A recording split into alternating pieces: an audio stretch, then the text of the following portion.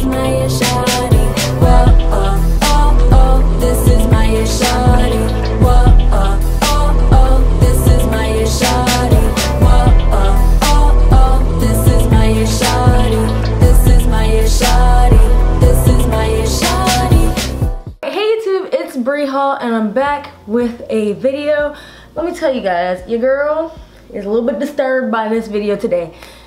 I didn't expect to be doing a video like this. Just kidding, I'm hyping it a bit. But this video is to be about what's really in your makeup products. I've always been curious about this. So I was on this YouTube page and it was this girl named Haley's Corner. I'll put her link down here. She did a video called These Face Products Are Causing Your Acne. On this video, she reviewed a site called CosDNA that really breaks down the ingredients in your products, which I think is so cool. But I thought, hmm, they have it for normal skincare products, they probably have it as well for makeup. So I started doing some digging and I came up with 10 products that I'm going to look through with you guys today. Quick plug before I get started. For those of you guys who don't know, I recently gave a TED Talk about, and that TED Talk is finally live.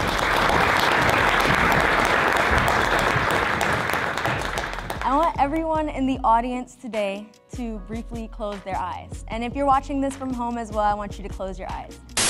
But yeah, my TED Talk is finally live. I'm so excited. The link will be at the top of the description box below, guys. Please support, show love. Thank you so much for just being with me through this process and I appreciate y'all. I love y'all. And it was so great to be able to, you know, speak these words in front of a platform as big as 11 million people. That's crazy. If you guys see me looking down, I'm actually looking at a list that I put on my laptop. Now feel free in this video not to take my word for anything and just do your own research on every ingredient that you see today. But I just wanted to bring you guys this resource and bring it to the table so that it could get that process started for you if there's certain ingredients you want to start avoiding in the future. And now I'm about to do my first product I'm about to search. I'm a little nervous. It's going to be the e.l.f. Hydrating Primer. So let me look at this now. Ing primer. Okay, let's see. Searching. All right, and as you can see by the screen recording, if I insert the screen recording, I might just do still images, but uh, you want to look at the year when um, you see these reviews and there's different dates. So I was just look for the closest one, and right now it looks like this 2017 date is the newest one. So it goes by acne, irritant, and safety. So the acne side usually goes from I think about one to five, irritants goes to one to five, and then safety usually goes from one to nine based on like FDA, um, FDA approval and then case studies and research, etc. Now, basically, let's go down this list. All right, so we've got water, glycerin. You guys can feel free to look at this and decide based on uh, the ingredients what you see. The first ingredient that jumps out at me is dimethicone. So there is a silicone lightly in that.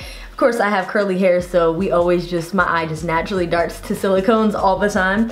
But that um, is common in primers because it usually keeps um, that slick, smooth surface and it kind of sits on top of your pores to give you that like flawless look, but let's keep going. So I'm looking at the large e.l.f. Uh, hydrating face primer and what I do see is that they do have retinol palmitate, which is a vitamin A um, derivative and I believe that studies in 2010 showed that this could possibly be linked to cancer but those studies are not finalized yet. I will look deeper into this but that is the e.l.f. Hydrating Primer. Okay so let's see what else. I'm kind of curious to look at everything. Alright so the second thing that I chose was the Maybelline Fit Me Foundation. Very popular foundation. So let's see what we can see on this screen recording right now. So so far so good. Um, I'm seeing the one thing that jumps out at me with this is the alcohol, but um, let's see. So that can be a harsh irritant on the skin. As you can see, it's a five out of five, I believe, on the irritant scale. Um, doo -doo -doo still going, still going. Woo! Alright, so we have a, I forget how to pronounce this. I think it's butyl paraben. But parabens, as you saw in the beginning of the video, can be a bit dangerous as a preservative. Um, there are many natural preservative alternatives. So I hope makeup brands start, um, you know, experimenting with finding better alternatives to paraben as a preservative. That's something I expected to see actually quite a bit in makeup and skincare as well. All right, so the next product we're gonna go to is a popular one, the Huda Beauty Faux Filter Foundation. So um, I know a few people that did say they broke out from this foundation. I have not personally tried it yet, but I went on to like 2017 slash 2018 popular products and I just grabbed a few. Some I recognize and some I haven't yet tried, so let's see. All right, so, so far so good. Again, as we get to right here, um, we see the alcohol is in here as well as a five out of five for an irritant, four out of nine on safety because it is kind of in a lot of products today. Then we have um, lactate. I also, like I said, advise you guys to look into these ingredients on your own time as well. Um, because you can actually click on the website and read more about them. But since you have them in this nice organized list, you can read about them and Google them, which is what I did once I started using this site. Um, ooh, okay. Once we get down here, oh gosh, okay, once we get down here, um, sunscreen, but we got a couple very high ingredients. Okay, this is one thing I wanted you guys to look out for. Fragrances. When you see three, what are this, three, four fragrances right here. Four fragrances. Fragrances can um, endure thousands and thousands of chemicals that make them fragrant, make them have that effect. So that's something I definitely say watch out for in your makeup products is fragrance. It can be kind of bad on your skin. All right, I look for a lot of things that say fragrance free. Let's see, the next one I chose was the Rimmel London Long Lasting Foundation as I wanted to jump between high-end products and drugstore. So let's see what we got here. All right, looking, looking pretty good. Uh, we have another sunscreen here, but a must, a much less, um, you know, I wouldn't say dangerous, but like on the safety scale, it's much lower than that other sunscreen we saw in the Huda Beauty foundation. Let's see, scrolling down, scrolling down. We got the alcohol again. I'm gonna say like, I hope foundations as well. Now that I'm learning this, I see a lot of foundations have alcohol in them.